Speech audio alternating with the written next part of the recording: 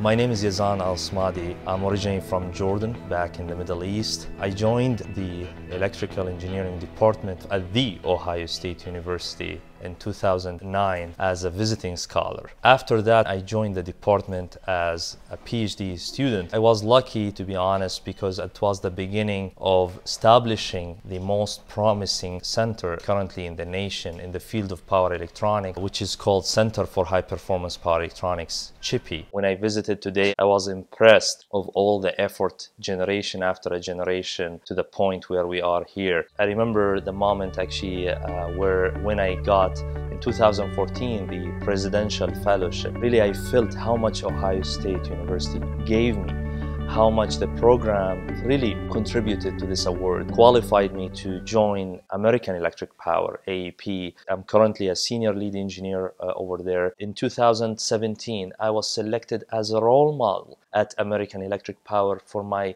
work and performance. What we see currently in industry is a massive transformation uh, from what we call it a traditional power system to what we call it a modern or smart power network. If you ask any student at Ohio State, when you tell him what, what does it mean to be a Buckeye, he will tell you this is like really a feeling that I have, a responsibility that I have on my shoulders. I'm really thankful to all my professors, faculty members, students, staff. Without your help, without your support, without your guidance, without your instructions, I will never be at the point where I am currently. What I would say for future engineers, you are really at the right place.